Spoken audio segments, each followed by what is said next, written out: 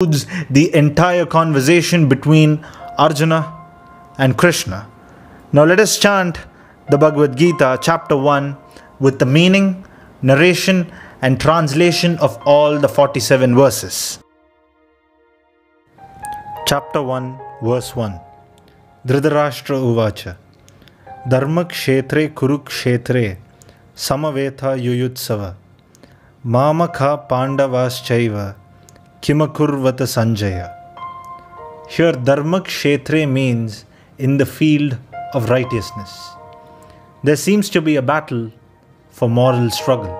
One fights for Dharma, justice, while the other fights for Adharma, injustice.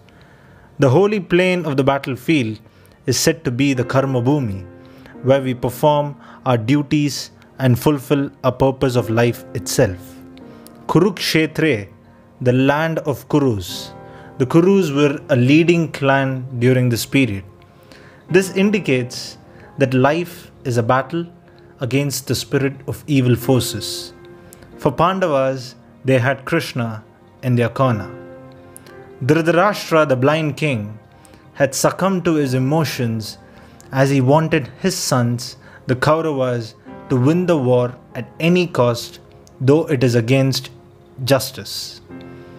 Though Dhritarashtra may be good, there is a sign of imperfection, evilness, and irrationality that he seems to be having that eclipses the world even to this day. Hence, the word mamaka is used, meaning selfishness, which is the source of all evil on planet Earth. This love for power and domination of the world at any cost by the Kauravas which causes adharma, is what brought the war around. Though wars are cruel, it is also needed as it is a purification to mankind to get rid of all negative thoughts and evil omens. Sanjaya Uvacha Drishtva tu Pandavanikam Vyudam Duryodhanastada Acharyamupasamgamya Raja Vachanam Abravit in this verse, the character Sanjaya is introduced.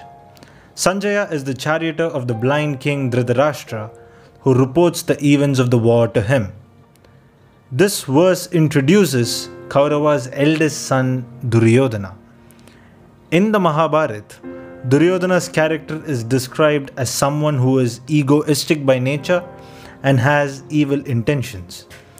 After witnessing the events of the war, he develops a feeling of anxiety and goes to his teacher Guru Dronacharya, who was also a renowned military expert in the world.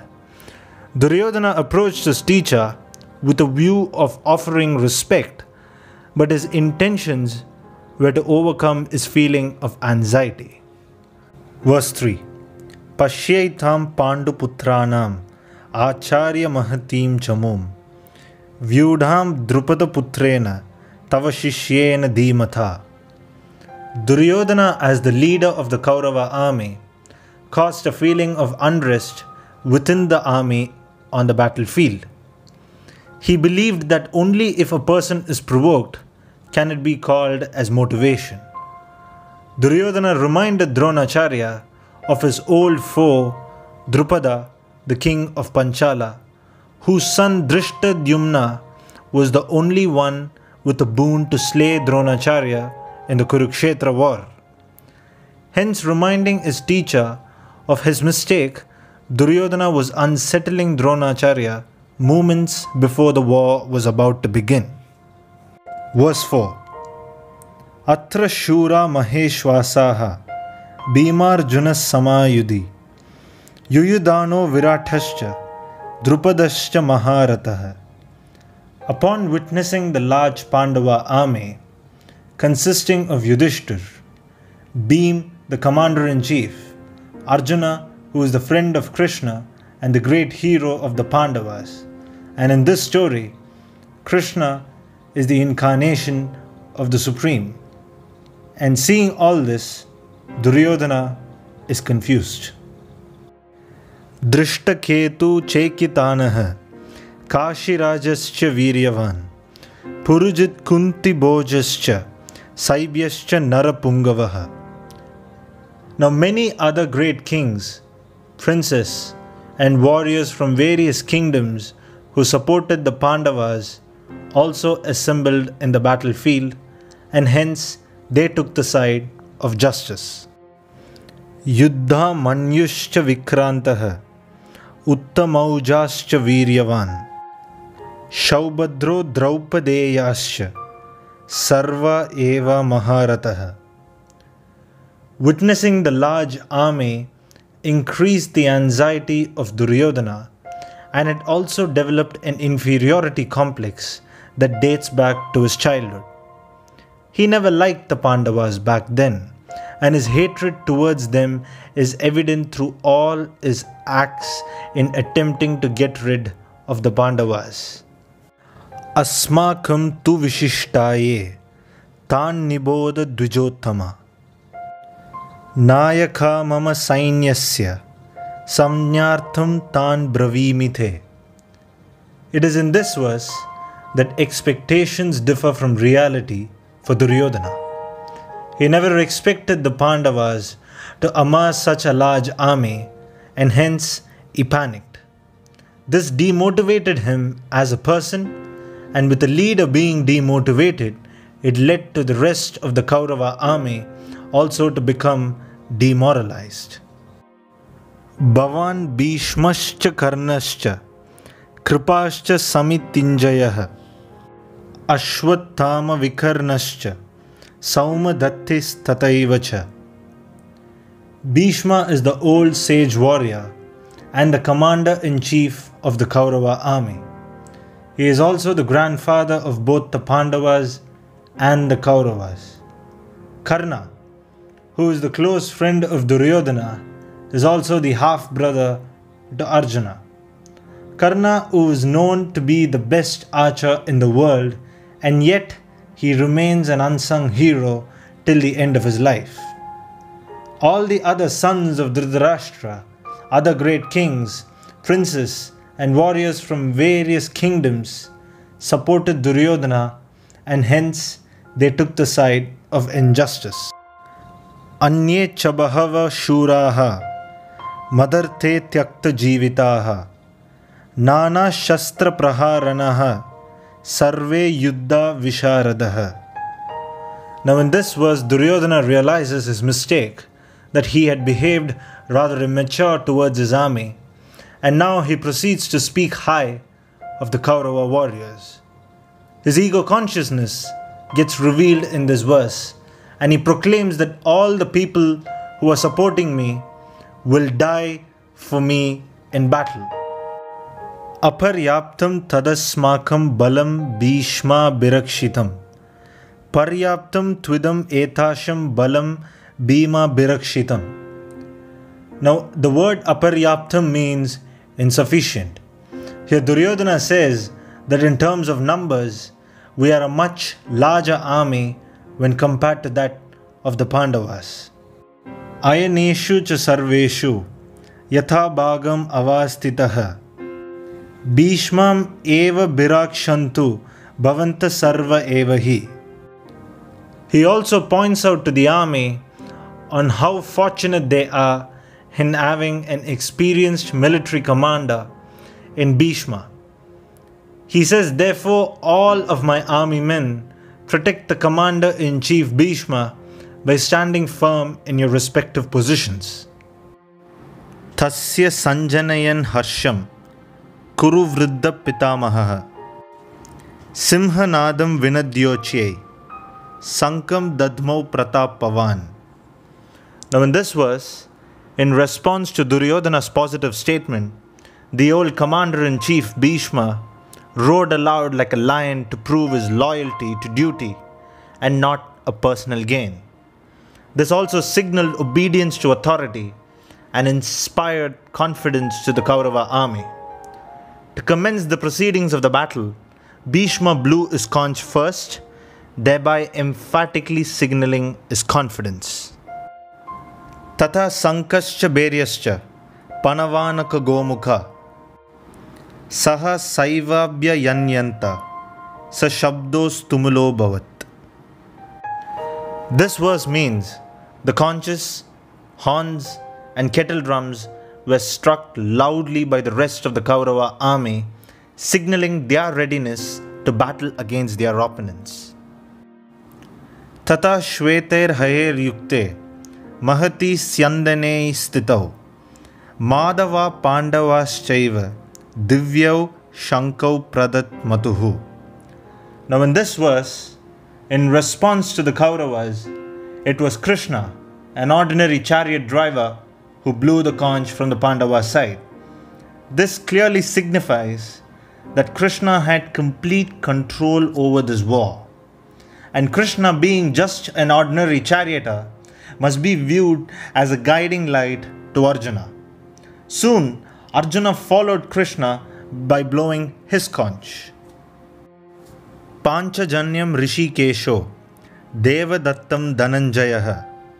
पौण्ड्रं दध्मौ महाशङ्कं भीमकर्मा वृकोदरः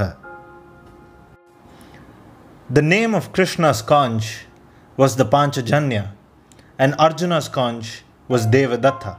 Both of them blew their respective conches which signaled readiness for battle from the Pandava side.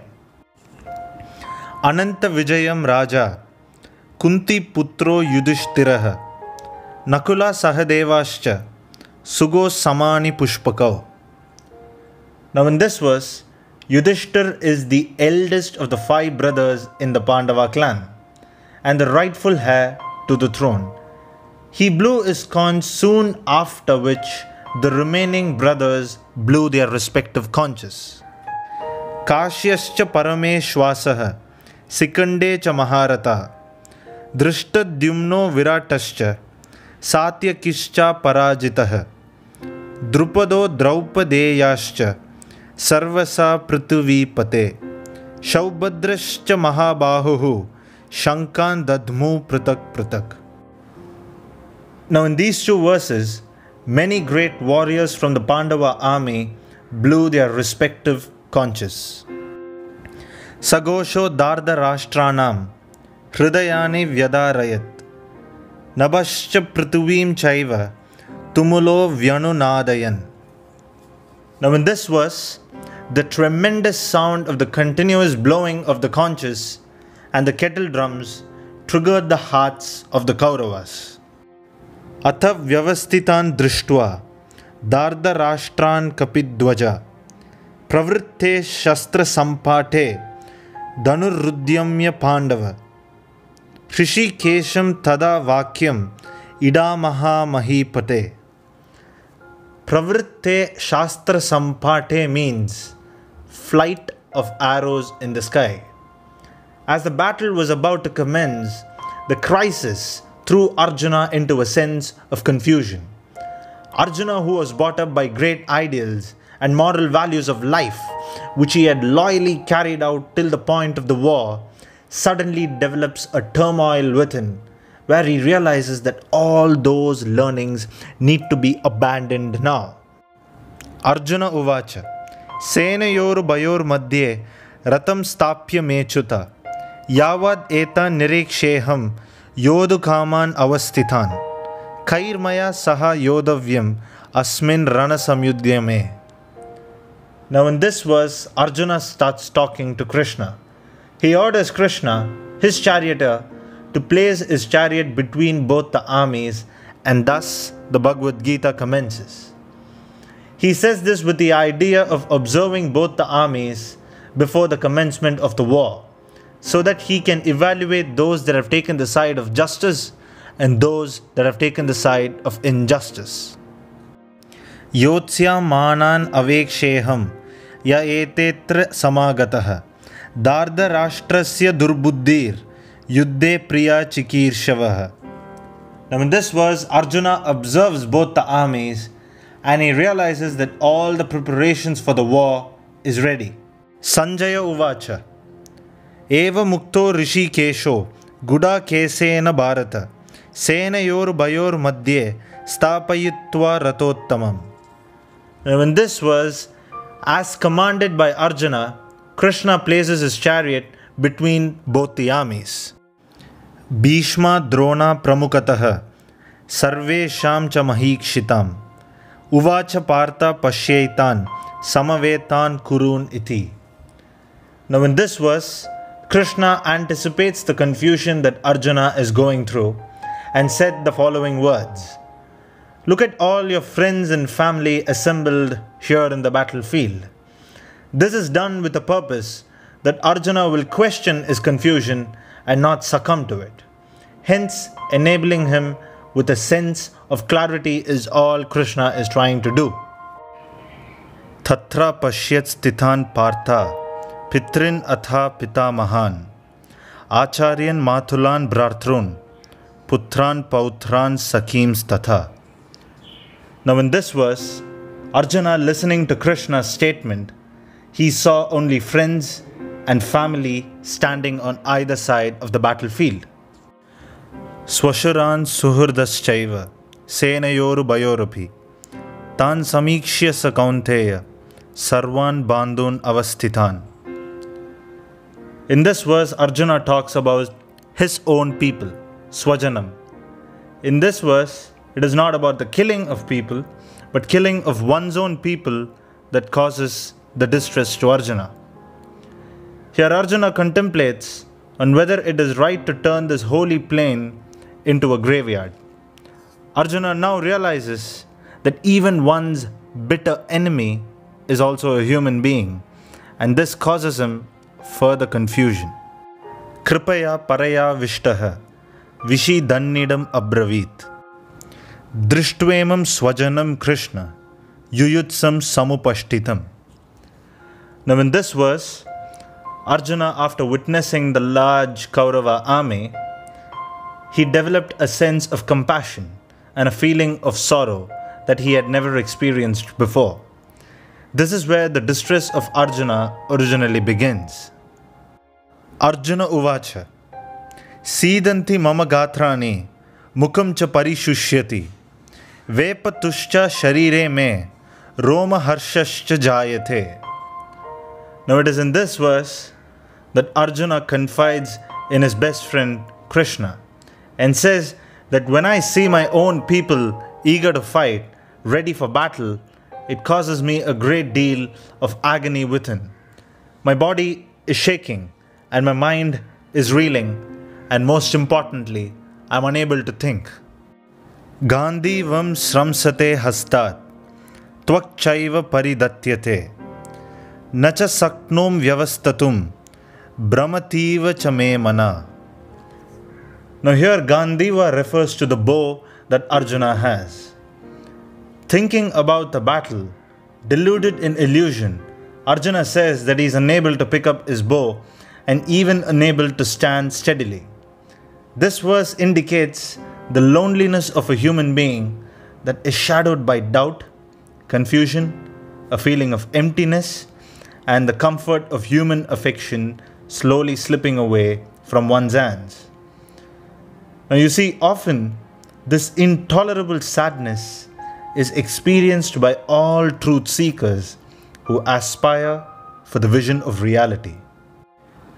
Nimittani cha pashyami, viparithani keshava, nacha shreyo nupasyami, hatva swajanam ahave.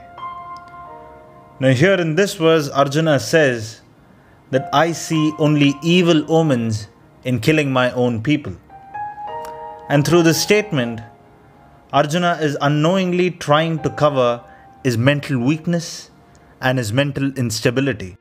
Nakangshi Vijayam Krishna, Nacharajyam Sukanicha, Kimna Rajyena Govinda, Kim Bogair Jivithena Va.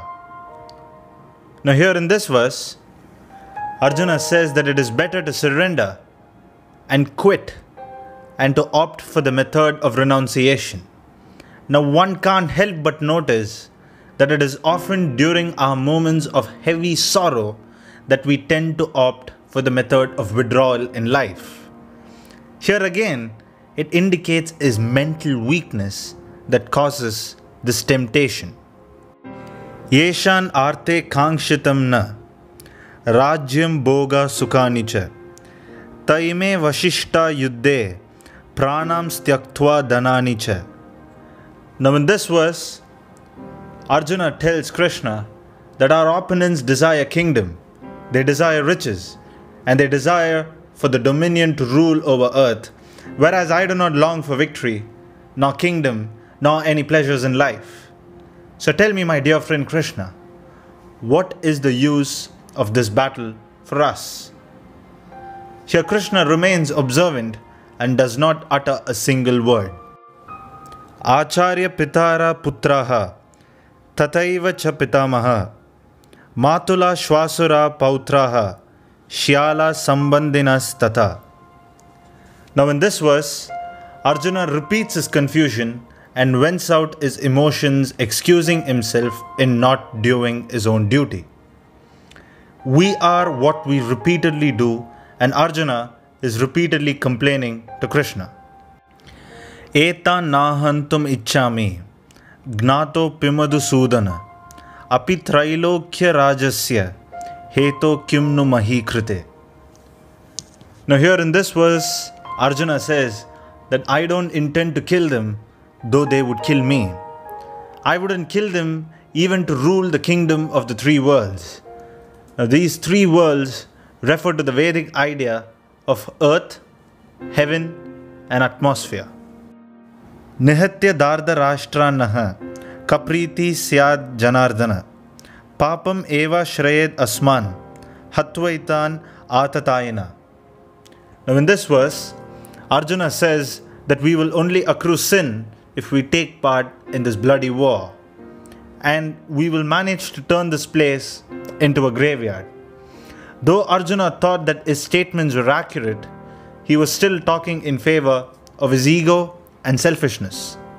He was holding on to the customary morality where you do not commit a sin in retaliation for another. Tasman narha vayam hantum dardarashtran swabandavan swajanam hi katam hatva sukina syama madava. Now, in this verse, Arjuna questions his happiness in the future if he kills his own family today. Though we may possess riches in the world, we would still lack the most important wealth that a person can possess that is, family. So he justifies himself by stating that we should not take part in this war and kill our own people. यद्यप्येते न पश्यन्ति लोभोपहत चेतसः कुलक्षयकृतं दोषं मित्रद्रोहे च पातकम् now, in this verse, Arjuna says that the mind of the Kauravas are ruined by greed, and hence they are unable to think and see with a stable mind. They see no wrong in the destruction of a family. They feel no crime in committing this sin to one's own friends and family. That's how deluded in their ignorance the Kauravas are. Katam neneyam asmabi papad asman nivartitum kulak shayakritam dosham prapasyadbir janardana. But here Arjuna questions why should we who possess the eye of wisdom be blinded and not turn away from this sin? Even though the Kauravas are at fault, we are at a greater fault as we are not turning away from this giant sin. Their eyes are closed and want to slay whereas our eyes are open and ooze the quality of forgiveness. Arjuna is trying to persuade Krishna into making the right decision. Kulakshaye pranashyanti kula dharma sanatanaha dharme nashte kulam krishnam adharmo bibhavatyuta. Now here in this verse, Arjuna further persuades Krishna in stating the various consequences of this war. He says that during a war, the family is ruined, which causes its ancient laws to be destroyed, and that yields to lawlessness. He's trying to emotionally blackmail Krishna by talking about social traditions and customary moralities. Adharma Bibhavat Krishna Pradushyanti Kulastriya Strishu Dushtasu Varshneya Jayate Varna Shankara. Now, here Arjuna starts playing a dirty trick. Arjuna now says the women of the family will become corrupted, and when women are corrupted, there arises an intermingling of caste called Varna in Sanskrit. In this verse, there is always a misconception that Krishna promotes casteism and the Bhagavad Gita follows suit. However, in reality, Arjuna is trying to blackmail Krishna or emotionally persuade him by bringing the social ideals and corruption into his statement in trying to make him turn away from his own duty. These verses were quoted by Arjuna and not by Krishna.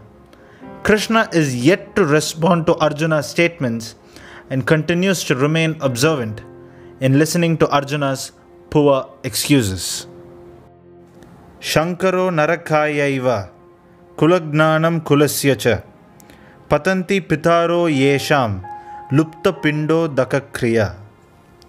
Now, in this verse, Arjuna further states to Krishna that due to the war, many men will fall in battle, which will deprive them in performing the ritual duties to the spirits of the ancestors, which was viewed as a great sin back in the day of the Mahabharata. Doshe Rethai Kulagnanam Varna Shankara Karakai Utsadyante Jati Dharma Kuladharmascha Sashvata. Now, here Arjuna says, When our laws are broken, and when our ideals are shattered, and when beliefs are questioned, and our traditions are not followed, we are thereby disturbing the social equilibrium that brings chaos into the world. Utsa Nakula Dharmanam Manushyanam Janardana Narake Niyatam Vasa Bhavati Tyanu Shushruma Arjuna here says, that in our culture, those who break our traditions and those who break our customs will dwell in hell. He persuades Krishna by talking and representing mankind as a whole. Aho bata mahat papam kartum vyavasita vayam yadra jasuka lobena Hantum Swajanam Udyatha. Now, here Arjuna asks his friend Krishna, So tell me, my dear friend Krishna, why are we preparing to fight in such a sinful battle and striving to kill our own people for our greed to buy a better future? Apradigaram ashastram shastra panaya darda rashtra rane hanyu tanme shemataram bave. So, here in this verse, Arjuna summarizes whatever he's been speaking over the last 20 verses. He says, It is better for me to beg than to kill my own people. His words are uttered in absolute agony, distress, and a conscious inner struggle. He is confused with the two main things that a war brings around that is, material loss and physical discomfort. Evam Muktvarjuna Sankhye Ratopasta Upavisat Visarjya Sasharam Chapam Soka Samvignana Manasa. Now, in this verse, having said the above, with a great deal of despair, Arjuna just sits back on his chariot. To conclude chapter 1, the distress of Arjuna can be viewed as a person who is losing all material happiness. Arjuna speaks about so many things through his statements. All of them were nothing but giant misconceptions. He speaks about caste, creed, religion, sex, and many other differences, and what would happen if one does not follow these customs. Though this was spoken 5000 years ago on the battlefield of Kurukshetra, this is the same issues and confusion that we seem to be having even in the present day. And most of these issues still remain unresolved. It seems Arjuna has made up his mind without listening to the voice of reason, and hence he chooses the path of assumption. Arjuna is failing to realize that he is speaking out of ignorance that leads to a land of illusion. It is often misinterpreted in the Bhagavad Gita that it is Krishna who says these verses, However, in reality, Krishna just observes throughout the first chapter the confusion of Arjuna and waits for his opportunity to speak. And this is why the first chapter is entitled as The Confusion of Arjuna. Hence, we conclude chapter 1. Now, a small prelude to chapter 2. It is in chapter 2 that Krishna finally speaks and addresses the confusion of Arjuna and his controversial statements made out of assumption that were carried out mainly to try and persuade Krishna himself. In the next chapter, Krishna primarily addresses two things. Primarily, Brahma Vidya, which is known as the science of absolute reality, which one can attain only by giving up illusion and going towards the land of wisdom. Secondly, he talks about Yoga Shastra, the scripture of yoga. Through this discourse, Krishna asserts the lost importance of yoga in a human being's life. So stay tuned for the further episodes and for chapter 2 because that's a wrap for chapter 1. Now, if you want to learn the explanation of these verses in detail, click on the playlist at the end of the video and also do subscribe to this channel for more enlightening videos and of course, thank you for watching.